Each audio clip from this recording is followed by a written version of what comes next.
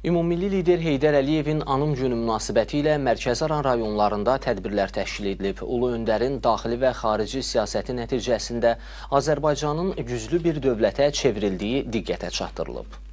Lər də ümummilli lideri andılar. Çıxış edənlər Ulu Öndər Heydər Əliyevin misilsiz fədakarlığından və dövlətimizin çiçəklənməsi istiqamətində gördüyü işlərdən bəhs etdilər. Göyçay və Ağsuda təşkil edilən anım mərasimlərində qeyd olundu ki, Ulu Öndərin yürütdüyü daxili və xarici siyasət nəticəsində bu gün Azərbaycanın adı dünyanın öncül dövlətləri ilə bir yerdə çəkilir. Buraxılışımızı